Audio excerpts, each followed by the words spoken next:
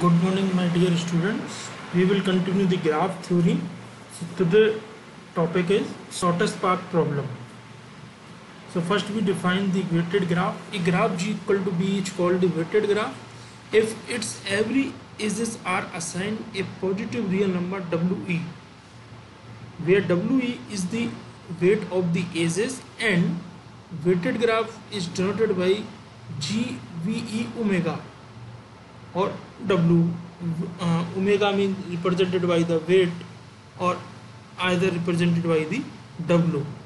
So हम ये कह रहे हैं कि अगर किसी भी ग्राफ को अगर कोई ग्राफ है जी उसमें हम हर एज को एक नंबर असाइन कर दो वो नंबर पॉजिटिव नंबर होना चाहिए पॉजिटिव रियल नंबर होना चाहिए अगर हम उसको असाइन कर दें एजेज को तो हम ऐसे ग्राफ को हम क्या बोलते हैं वेटेड ग्राफ बोलेंगे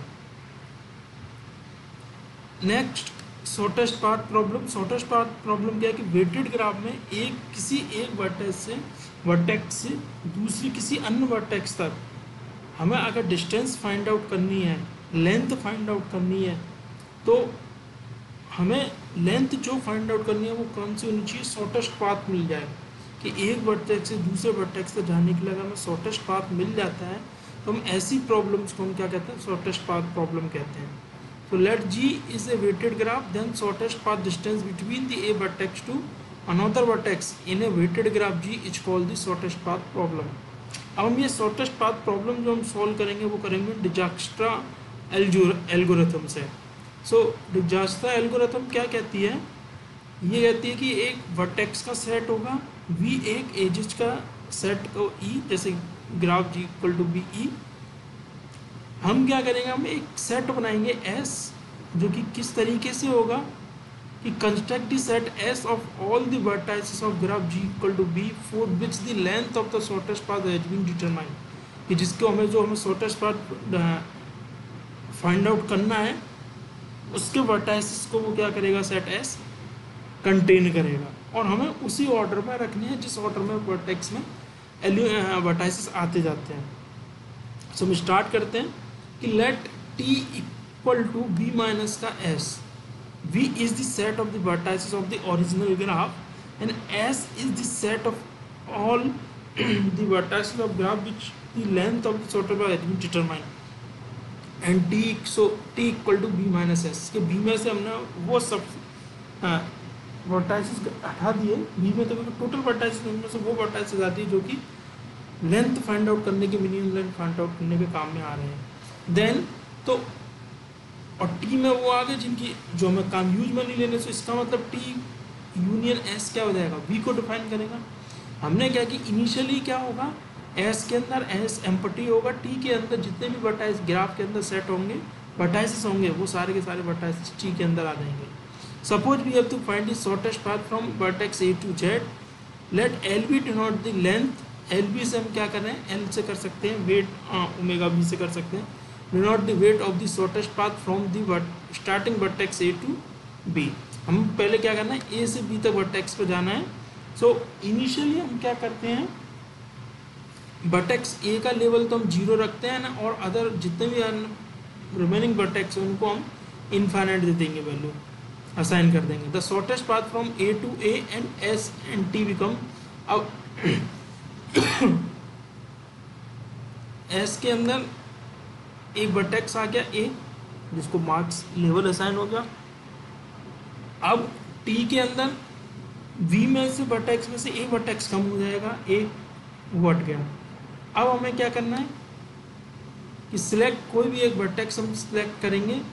Select U belongs to T vertex adjacent to A such adjacent to ए हमने एक वर्टेक्स सिलेक्ट किया जो कि एडजेंस्ट है, किसके? ए के such that L U equal to W A U W A U का मतलब weight of the edges which is incident on A and U is minimum then new permanent level of U is L U so U का जो permanent level क्या हो जाएगा? L U also S and T become S के अंदर अब क्या जाएगा?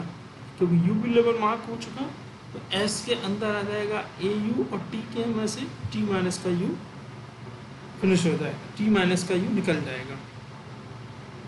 अब हमें क्या करना है कि सपोज़ अगर जेड के अंदर एस आ गया, तब तो हमारे शॉर्टेस्ट पाथ हमें मिल गया।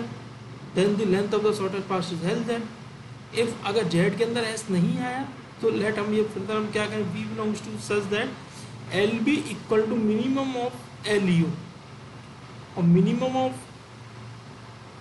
एल यू हम जो निकालेंगे, वो निकालेंगे इस तरीके से minimum of value U belongs to T के लिए हमने पहले यू बिलोंग्स टू टी के लिए हम to then S equal to U B union S equal to S union B S पहले से था और टी इक्वल टू यानी कि एस के अंदर आ जाएँगे ए यू बी और टी में से फिर वापस से एलिमेंट रिमूव हो जाएगा। And W belongs to T which are adjacent to B अगर बी एडजेंस्ट है तो हमें ये देखना L B plus B W W then L W equal to L B plus W B W हम इसको बेटर हम इस एल्गोरिथम को समझ पाएँगे। एग्ज़ाम्पल से हम इसको सॉल्व करेंगे हम इसको बेटर समझ पाएँगे इस एग्ज़ाम इस एल्गोरिथम को डिजास्टर एल्गोरिथम को। सो so, ये हम फाइंड एग्जांपल लेते हैं। Find the shortest path between the vertex A to A and A to F आएगा। Find the but shortest path between the vertex A and F in the following weighted graph हमें A से F तक का shortest path find out करना है। अब अगर मैं डिजास्टा एल्गोरिथम से भी कर सकते हैं डिजास्टा एल्गोरिथम कैसे लगाते हैं? लेकिन हम इसको मैनुअली अगर हमें करना है, हमें डायरेक्टली पता लगाना है कि हमें आंसर क्या होगा तो हम क्विक वे में हम फाइंड आउट कर सकते हैं। हम सबसे पहले एक से स्टार्ट किया ए से बी जा सकते हैं ए से सी ए से बी कितना है? फोर और ए से सी कितना है? टू सो मिनिमम कितना है? टू अब सी से डी सी से ई e और सी से बी यही डिजास्टर एल्गोरिथम है। अब ए से बी जाने में इन दोनों में से जो मिनिमम होगा, उसी के थ्रू जाएँगे। तो ये मिनिमम है। अब सी से डी सी से ई e और सी से बी इन दोनों में जो मिनिमम होगा, वो कितना? टू प्लस टेन ट्वेल्व होता है, टू प्लस एट टेन होता है, टू प्लस वन थ्री होता है। तो मिनिमम कितना है? थ्री तो हम क्या जाएँगे? सी से बी जाएँगे। सो ए से सी आ गए सी से बी गए। फिर बी से ए की वे है। बी से वापस से सी पे नहीं आएँगे। बी से ए की वे बी से डी जाएँगे। सो बी से जब हम डी जाएँगे तो डी के लिए कितना होगा? बी से डी के लिए। बी से डी के लिए ए की वे है। So two plus one three so B पर कितनी आ गई? थ्री आ गया. थ्री प्लस फाइव कितना हो गया? एट हो गया. अब डी से हम या तो ई e जाएँ या डी से हम एफ़ जाएँ. तो ये कितना हो गया? एट और यहाँ कितना होता है? एट और सिक्स फोर्टीन क्योंकि यहाँ कितना होता है? एट और टू टेन होता है तो मिनिमम कितना है? टेन तो हम डी से किस पे आएँगे? ई e पर तो टेन हो गया. फिर यहाँ से एक ही वे बचता है हमारे पास. और टेन प्लस थ्री थर्टीन तो यानी कि पाथ कौन सा हो गया? A to C C to B B to D D to E E to F ये पाथ हो गया हमारे पास। और यही हमारा शॉर्टेस्ट पाथ आना चाहिए डिजास्टर और यही डिजास्टर एल्गोरिथम है। डिजास्टर एल्गोरिथम हम कैसे समझे इसको देखो? कि एस इक्वल टू फाइव पहले हमने एस इक्वल टू फाइव ले लिया। एस के अंदर इनिशियली फाइव है टी के अंदर फटाइसिस कितने? ए टू एफ़ हमने ए की से, इसकी लेंथ कितनी होगी? L A equal to zero और रिमेनिंग को हमने इन्फिनिटी तो बी की नॉट इक्वल टू ए ये हमने एक टेबल बना ली कि B zero infinity infinity infinity infinity और ज़ीरो को वैल्यू हमने असाइन कर दिया ज़ीरो तो ये हमने यहाँ वैल्यू असाइन कर दी। ज़ीरो को ये देखेंगे, ये ज़ीरो वैल्यू असाइन टिक कर दी।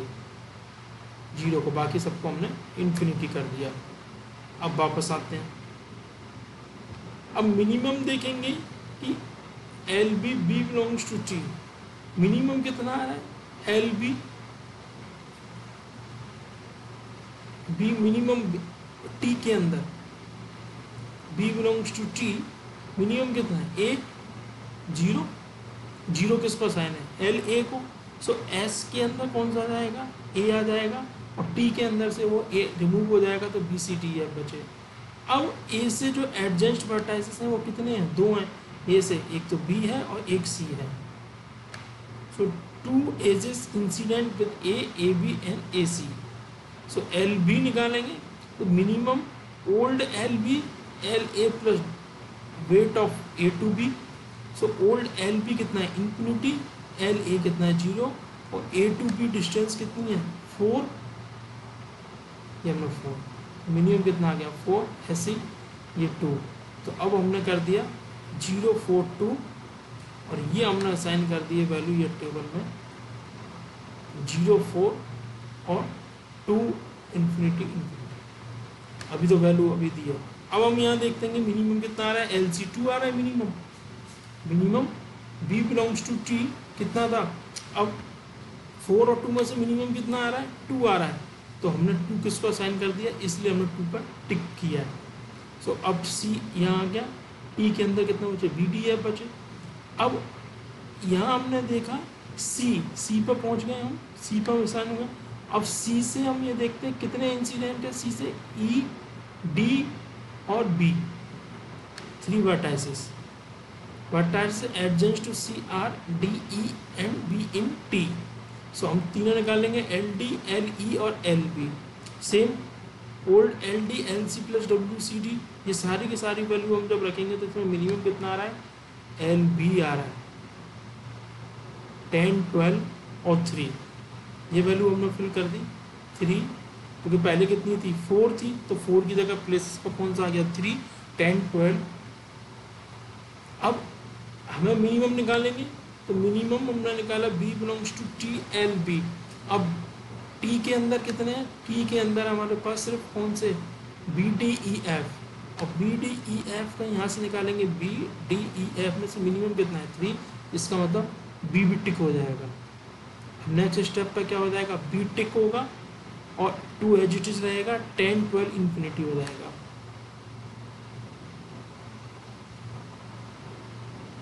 थ्री टिक हो गया B tick ten twelve infinity हो गया। ऐसे ही ये आ गए। तो बी भी यहाँ से रिमूव हो गया। अब कितने बचे? डी ई एफ़ अब बी से एडजस्ट कितने? एक ही है बी के एडजस्ट डी ये तो सिंपल सा है इसमें तो डायरेक्टली हो जाएगा। तो डी आया सो so, डी के लिए कितना आ गया? एट एल डी कितना आ गया? एट पहले कितना टेन टेन के बाद कितना आ गया? लेकिन मिनिमम कितना आ गया? डी आ गया ये भी टिक हो जाएगा। ऐसे हम फाइंड आउट करते करते लास्ट में हमें एक बचेगा जिसको हम शॉर्टेस्ट पाथ बोल देंगे। अपने लास्ट स्टेप पर जैसे हमने बोला कि अगर एफ़ अगर मिल जाता है उसके अंदर तो एस के अंदर आ जाता है तो हमारा शॉर्टेस्ट पाथ हो जाएगा। और यहाँ से कितना आएगा? क्योंकि एक ही है तो एफ़ किसके अंदर आएगा? एस के अंदर तो ये हमारी शॉर्टेस्ट पाथ मिल गया, जिसकी डिस्टेंस तो इस तरीके से हम डिजास्टर एल्गोरिथम के थ्रू शॉर्टेस्ट पाथ प्रॉब्लम को सॉल्व कर सकते हैं। Okay thank you